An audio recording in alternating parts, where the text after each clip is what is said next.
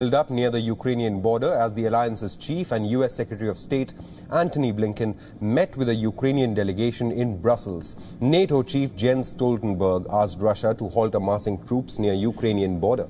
The remark, remark comes as NATO held an emergency meeting of allied foreign and defense ministers. Russia's uh, considerable military buildup is unjustified, unexplained, and deeply concerning. Russia must end this military buildup uh, in and around Ukraine, stop its provocations, and de escalate immediately.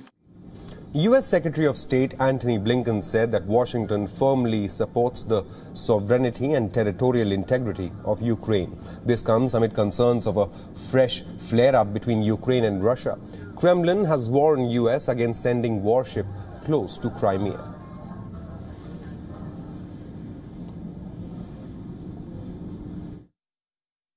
The United States stands firmly uh, behind the uh, sovereignty and territorial integrity of, of Ukraine, uh, and uh, I'm here to reaffirm that with the, uh, uh, the foreign minister today. and that's particularly important at a time when we're seeing, unfortunately, Russia take very provocative actions when it comes to Ukraine. We're now seeing the largest concentration of Russian forces on Ukraine's borders since 2014. Uh, and uh, that is of deep concern uh, not only to, uh, to Ukraine, but to the United States and indeed uh, to many of our allies and partners. Ukrainian foreign minister who held talks with Blinken said that Russia needed to be made aware the price for the aggression against Ukraine will be too heavy for it to bear, unquote. Earlier, Ukraine said that Moscow refused to hold talks with Kiev. By gathering today, we try to avoid the mistake that was made in 2014 when Russia was ready to act swiftly and pursue its military goals in Crimea and Donbass, while our Western partners were considering their reactions to what was happening on the ground. Russia will not be able to catch anyone by surprise anymore tensions have risen in Donbass, which has been gripped with fighting between pro-Russia separatists and the Ukrainian army. Troop buildup has also been seen in Crimea.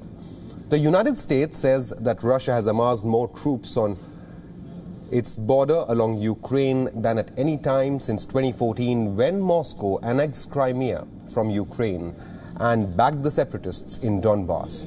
Major combat in Donbass ended with a truce agreement in the Belarusian capital of Minsk, and that happened in 2015, whose impl implementation France and Germany have helped to oversee. However, sporadic fighting continues despite repeated attempts to implement a ceasefire.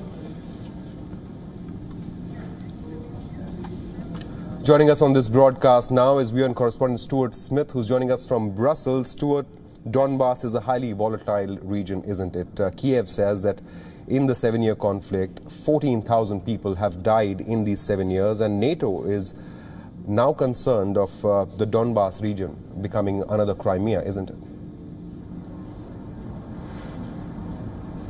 Yeah, the NATO situation, as things stand, is very strong words from US Secretary of State Antony Blinken and Jens Stoltenberg, Secretary General of NATO, but so far no commitments. Now, the Ukrainian foreign minister was hoping for some firm uh, policies on the line from NATO, and NATO indeed has expressed strong support. The question will be will NATO step up and offer anything more than just words? And foreign ministers, defense ministers of NATO are gathering by video conference today. And in Brussels itself, we have the US Defense Minister and the US Secretary of State with Jens Stoltenberg. So, very high level meetings going on about what NATO can offer to Ukraine to back up these words of support, whether that might be further sanctions against Russia, whether that may be arms or weapons to Ukraine, or even military support. NATO, though, keen to make sure that it doesn't uh, further uh, further uh, encourage Russian aggression.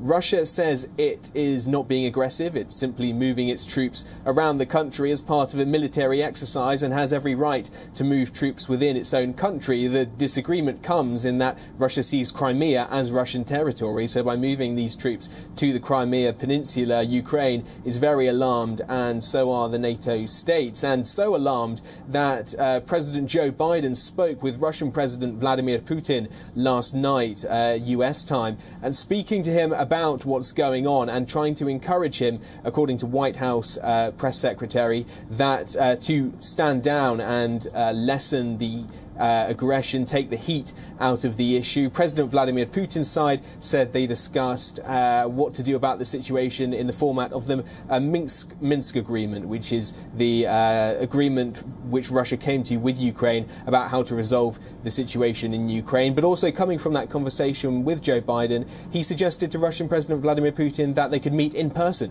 potentially at a third country. So talks happening at the highest level around the world, but also here in Brussels.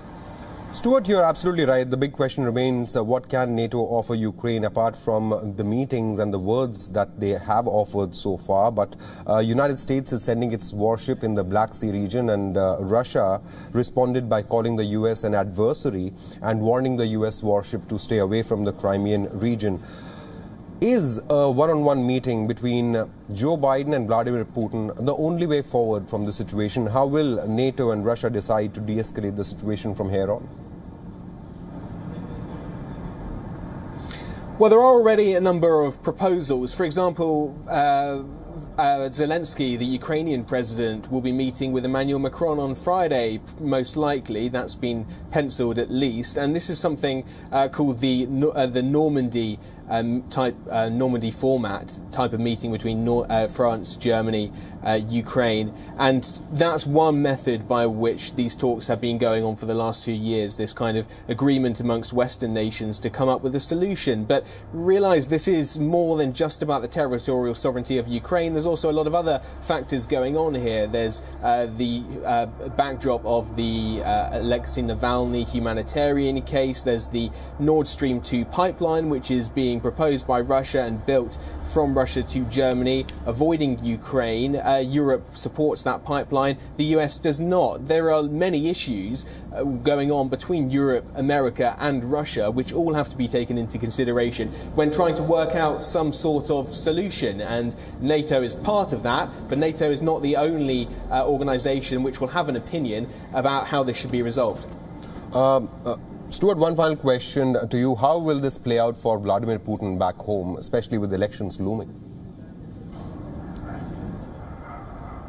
It's certainly one of the considerations. President Putin knows that he gained a huge boost in support after the annexation of Crimea in 2014, and so this could be one move to try and further strengthen his electoral support after what seems to be so far uh, quite poor polling for the president in the face of the COVID 19 pandemic and the state of the economy. So military engagement would potentially help President Putin. What would not is a war in Ukraine, which sees Russian soldiers coming back in body bags. So he will be aware that this is a very sensitive issue, not just internationally, but within Russia as well.